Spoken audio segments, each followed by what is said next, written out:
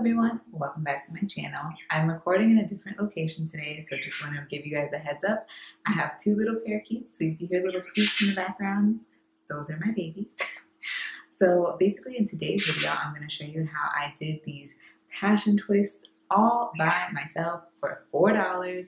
I only used about pretty much just one pack of hair, like one and some change, really. And I bought Kanekalon braiding hair, like the straight braiding hair. I'll go, I'll go get it for you guys. And curled it myself. Shout out to Loveth. I want to say it's Loveth Speaks. She came out with this idea, or she's the idea that I saw that I got inspiration from. So I'm going to take you guys along the journey to show you how I did these passion twists. First off, whenever I do any type of braid style, I always wash the hair. So that's what we're going to do first. So like I mentioned, I'm starting out with two packs of Xpression braiding hair. You want to make sure to keep the rubber bands on because it just helps keep the hair more organized. So this is two packs of hair. I'm putting them in this clear drawer. It's one of those organization tower drawers. and I'm going to fill it up with water and then add some white vinegar.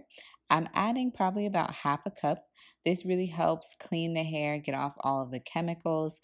I'm also going in with my coconut milk and honey clarifying cleanser. You know, I talk about this cleanser all the time. I love it. It is a three in one cleanser, and it's great just for helping to clean and cleanse the hair.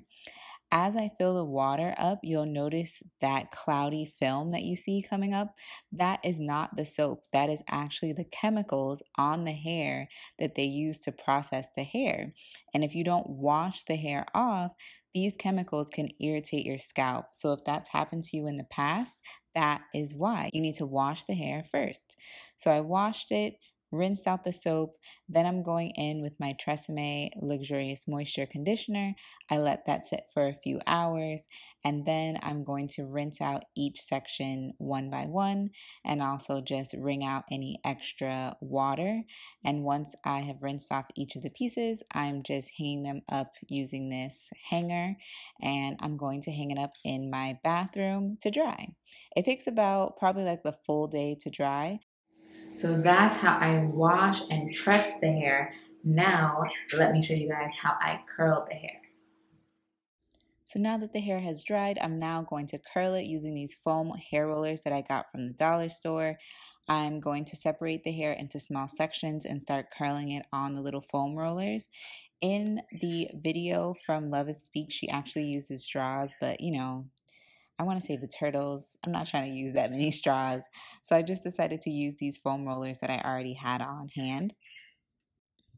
Once I've separated the section, then I'm going to start rolling it onto the foam roller. So I'm going to hold it towards the end of the section. As you can see, the ends are already tapered. And I'm going to wrap that section around in the same place about two or three times. And then as I roll down the foam roller, I'm going to cover that section, basically securing it in place so that I don't have to put a pin there. And then I'm going to roll down the rest of the foam roller. As you can see, I'm twisting my wrist as well as wrapping around the foam roller. This allows you to twist the hair individually as well as curling it around the roller, just giving it a tighter curl overall. Then once I get down to the end, I'm going to wrap back up the foam roller. Another thing that I didn't mention is when you're wrapping down, you want to leave enough space so that when you turn around and come back up, you can place the hair in those spaces in between. When you get to the end, you want to just wrap in place, same way I did at the beginning.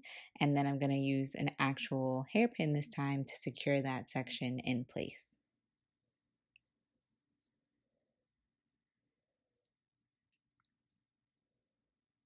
So this is what it should look like when you're finished. I'm going to show you one more time. So again, holding it towards the end of the section, wrapping it in place without moving down the foam roller.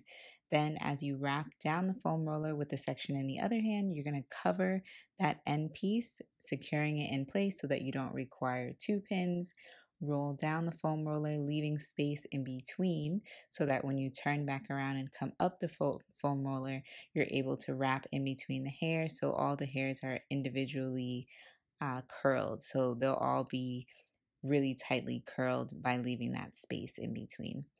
Like I mentioned in the previous video with Loveth Speaks, she uses straws so it allows for a much tighter curl. But I found that with these foam rollers, you can get a pretty tight curl and it actually looks really natural. So I was really happy with the results. Again, once you get to the end, you're going to stay in place and wrap that around, securing it and holding it in place with a hairpin.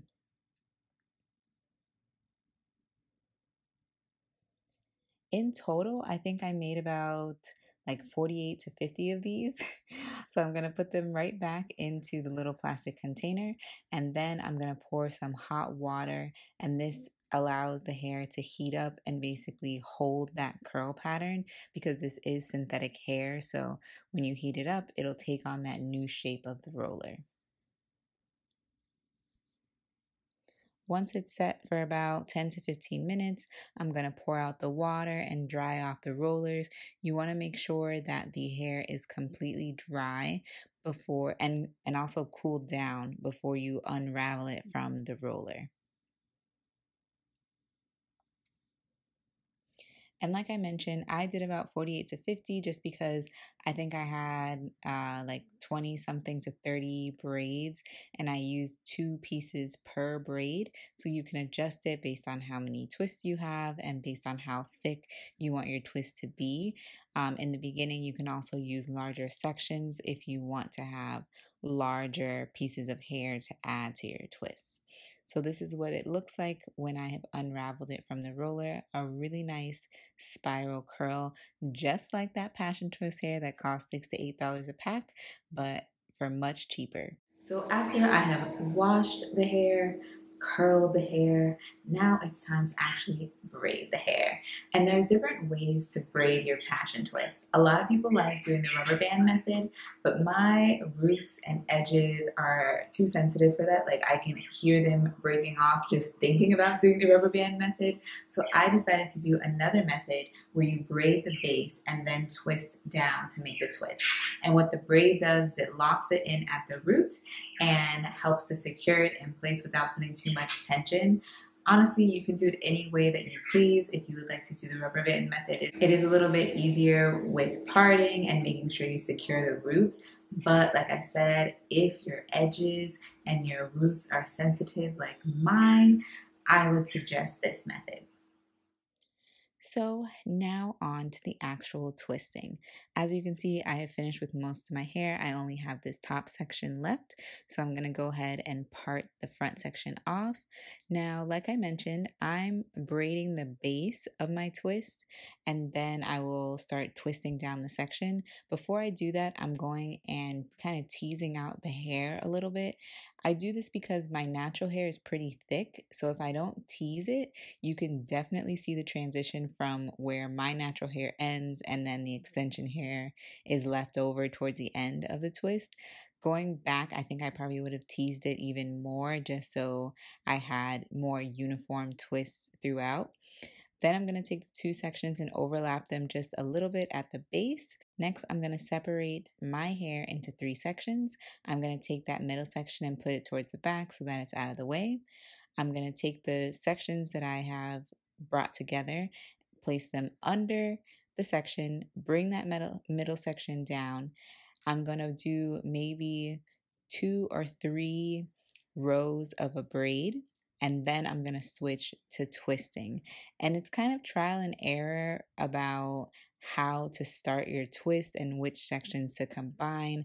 Sometimes I'll start twisting and realize that the hair doesn't really want to go that way. So I'll go back and either split the section or combine it with the other section just so that it lays flat.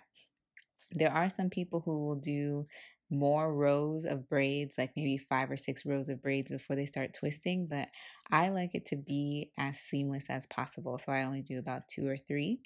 Now I'm going to go in with my clear Eco Styler gel and add that to the section just to kind of lay down some of the flyaways. Um, also, because I'm doing this on freshly washed hair, I don't want my hair to expand as much as it normally does.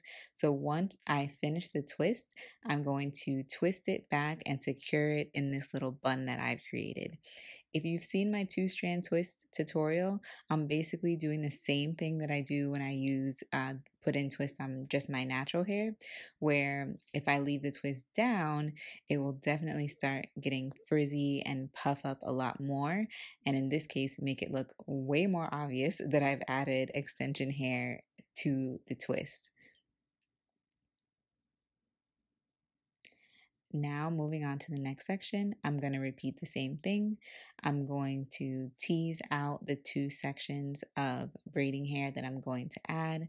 I'm going to separate my hair into three sections, putting that middle part towards the back so that it's out of the way. And then I will do the two to three uh, rows of braids and then switch to twists.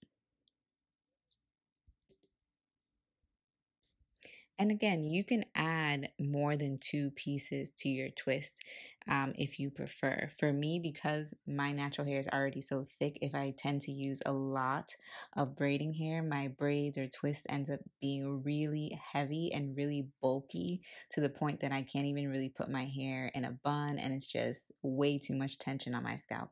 So I try and use as little extra extension hair as possible and still make it look natural.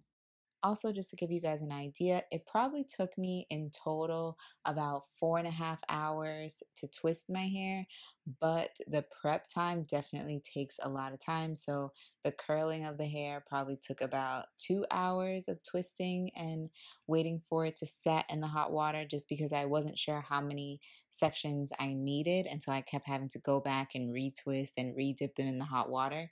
So, if you kind of have an idea of how many twists you're going to do in the beginning, it's a lot easier to just prep those twists and curl the hair ahead of time. Also, like I mentioned, I use a pack and a little bit of another pack to do these twists. So, really, two packs should suffice. But, like I said, if you're wanting thicker twists, definitely it may take, you may end up using a little bit more. Also, do not cut the hair in half because once you curl it, the hair shrinks and you end up with very, very small and short twists. So, I would recommend just keeping it the entire length. Once I've secured that last twist down in place, of course, you guys know if you've seen my other videos, I have to lay down my baby hairs because a style is not complete if the baby hairs are not laid. so I'm going in with a little bit of water, some gel, and this designated toothbrush for my baby hairs and basically laying them down in place. Once I finish this, I'm going to add my scarf and go to sleep finally. I don't know if you guys can tell how heavy my eyes are at this point. it's like two in the morning, and I definitely have to be up and at the hospital the next morning. So, uh, not sure how great of an idea it was to start on this so late.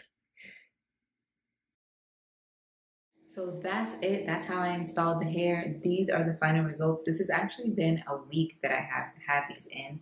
As you can see, my hair is getting a little bit frizzy, but it kind of just goes with the style because it is more of a twist style.